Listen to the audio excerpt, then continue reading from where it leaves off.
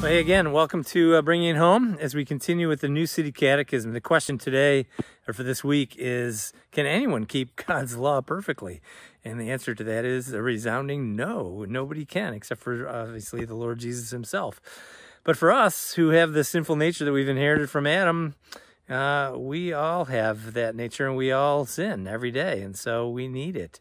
Uh, which makes me think of then the application of the gospel and the power of the gospel actually uh, in our lives and how necessary it is each and every day to apply that gospel. It's not that we just came and accepted Jesus uh, once upon a time, but it's every day we need that gospel.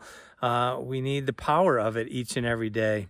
Um, because we sin every day and so we need we need that forgiveness every day from the lord certainly uh, in terms of our relationship with him on a daily basis.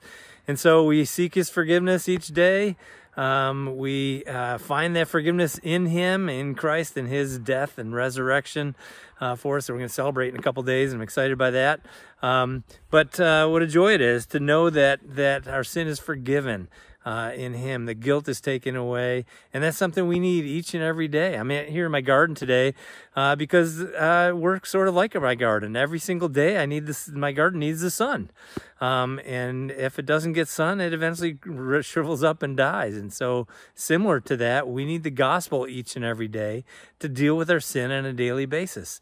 Um, and so, uh, and as we find that forgiveness that we find that's in Christ we rejoice in his goodness and in his forgiveness and in his love given to us in Jesus.